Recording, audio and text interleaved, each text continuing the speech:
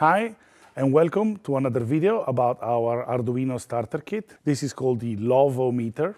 This project is used to measure how hot you really are. Actually, in, in simple words, this circuit is a very simple thermometer that measures the, your body temperature and visualizes it on a string of LEDs. So let's look at how the circuit is built. There are five LEDs on this circuit that are used as an output. So you can visualize the temperature by looking at the number of LEDs that are on at any given time. And so this is an extension to the previous project we looked at when we used three LEDs, and now we learn how to use more LEDs, so we go up to five. But more important part about this circuit is actually the sensing. In this particular circuit, we use a, a temperature sensor called TMP36. And um, the interesting feature about this uh, sensor is that it's a very precise uh, temperature sensor that generates a voltage which is proportional to the temperature that it measures. In particular, this sensor generates 10 millivolts of voltage for every uh, degree centigrade plus 0.5 volts. So for example, if the temperature in this room is 20 degrees, then 20 multiplied by 10 millivolts is 0.2 volts plus um, 0.5 volts, which is the uh, basic voltage that's always produced uh, at zero degree uh, by the sensor. So when the temperature in this room is 20 degrees, the sensor will produce 0.7 volts. Now we hit an interesting problem.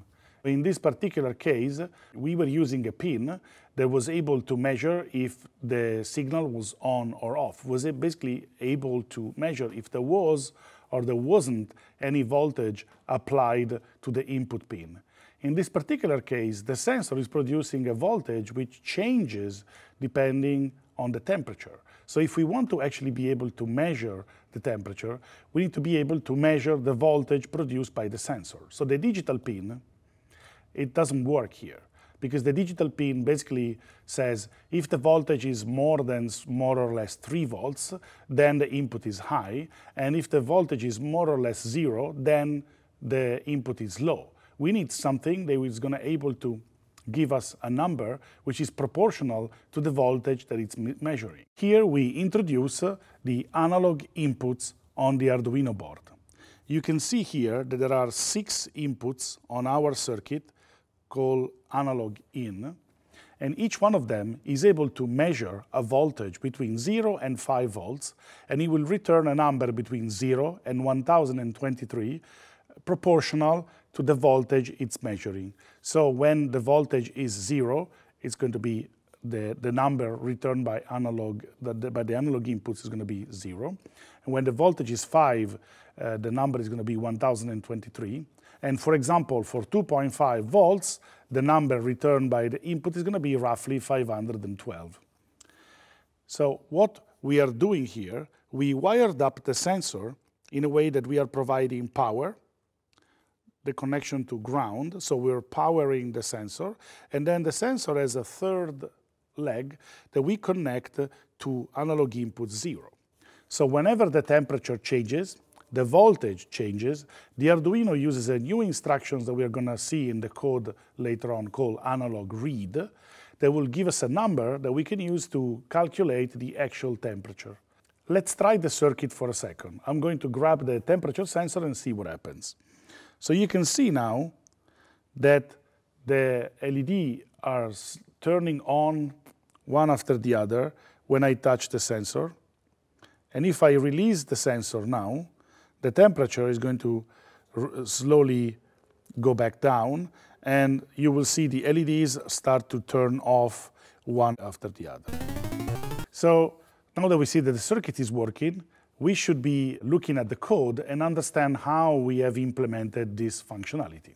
So let's have a look at the code for this example. So if we look at the code, you see some familiar um, elements like the setup function. So let's start at the beginning. We define a constant uh, called sensor pin that maps uh, the analog input 0, A0, in the code here, you can see A0. And This one allows us to uh, be able to change the input pin if we want to, and it gives a meaningful name to that particular input. So we know that the um, temperature sensor is connected there. So the code becomes more readable. Then in the setup function, the first thing that you see is that we are using serial.begin 9600. Basically, this is a new function that we have introduced uh, in this example.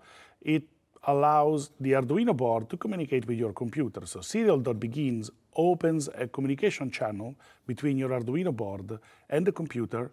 9600 uh, specifies the speed, 9600 bits per second. So this allows us, for example, to print numbers that we can that we read from the analog inputs and send them to the computer where we can use the serial monitor that I'll show you in a few seconds to visualize the data that comes from the Arduino.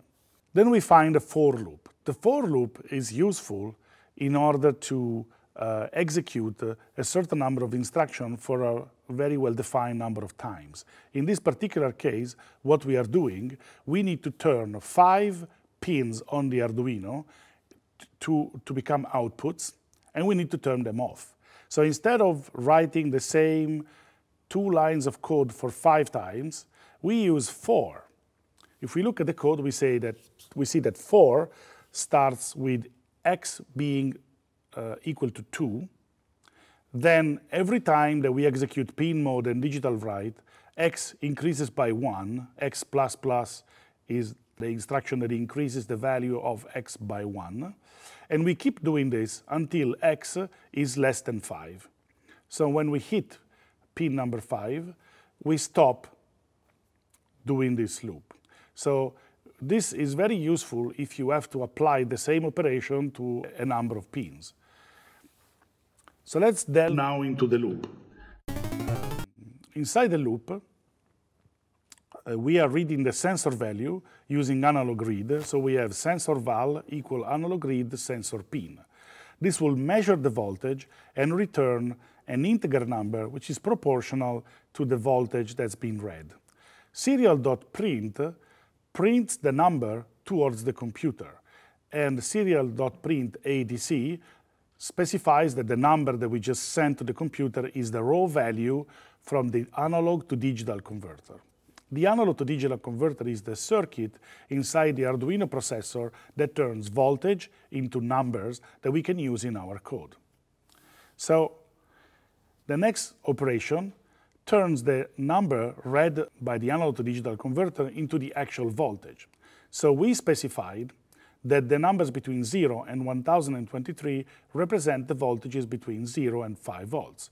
So what we are doing here, we are dividing sensor val by 1024, which is the maximum, the number of values that are, that are representable by analog read, and then we multiply that by 5. So this float type of variable is a new type of variable that we introduced with this example, that is able to store decimal numbers that in this case, uh, it's needed because we're going to get voltages like 0 0.7, 0 0.8. So we need to be able to represent these kind of numbers.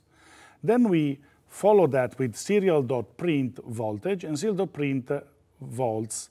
This, again, sends to the computer the voltage computed by the Arduino and the string volts to specify that the previous number was the amount of voltage. Now here is where we actually make the calculation of the degrees. The sensor, as we said, is producing 10 millivolts per uh, degree centigrade and then adds 0.5 volts to all the values. So if we look at the code, we are taking the voltage, we subtract 0.5 volts, and we multiply by 100. Using this formula, we convert the voltage measured by the Arduino into the actual temperature in degrees centigrade. Then we print the temperature, and then we use a new function called println to write the string degrees centigrade. Println, on top of sending the information back to the computer, sends this new line special character that tells the serial monitor on the Arduino to start printing the next line at the beginning of a new line. So this makes sure that all our values that we visualize are all nicely uh, aligned and, and readable. Finally, once we have the temperature, we need to be able to decide how many LEDs are turned on and off uh, depending on each temperature. So what are we going to do? Actually, we're going to use a series of ifs. In the previous example, we used if else to be able to decide to execute one part of the code or another part of the code depending on the result of a question of a kind of a condition that we ask Arduino to verify. In this particular case, we have to verify multiple questions because we have five LEDs, therefore we have multiple combination. So we use a different kind of um, if combination called else if. So we ask Arduino, is the temperature less than the baseline temperature? If that's true, Arduino is going to turn off all the LEDs. If the temperature is in the first band, we have an if that's measuring if a temperature is more than a certain value, but still less than another value. If the temperature is within that band, one LED will be turned on. And then we have another else if that basically goes through every combination of value until we are able to turn on all of the LEDs. So in this particular code that we are displaying here, we are using if else, else if, to divide the temperature range that we want to measure into bands. And then we check to see in which band the temperature falls in. And we decide which LEDs to turn on and which LEDs to turn off. Then, through the last else if, um, we basically reach the end of the program then the loop is going to start again, and we're going to go through the same sequence. Measure the temperature through analog read, take the number, turn it into a voltage, then from the voltage compute the temperature, print all of that information onto the screen, and then afterwards decide which LEDs to turn on depending on the temperature. So if now I grab the sensor, the temperature increases, and the if statements are deciding which LEDs. For example, at the moment, this LED is flickering because the temperature is across two bands, so it's still undecided which one should, should be turned on. If I release this, uh, and maybe I blow a little on the cir circuit, you will see that this LED will start to flicker a little bit and then turn off. So we're now reached the end of this example. We have learned a little bit more. We have learned about controlling multiple LEDs. We learned about reading analog inputs, converting the values into voltages, converting the values into temperature, using multiple if statements to divide values into bands and make multiple decisions, and then how to print all this information back to the computer. I hope that you will enjoy playing with this uh, project, and I'll see you in the next video.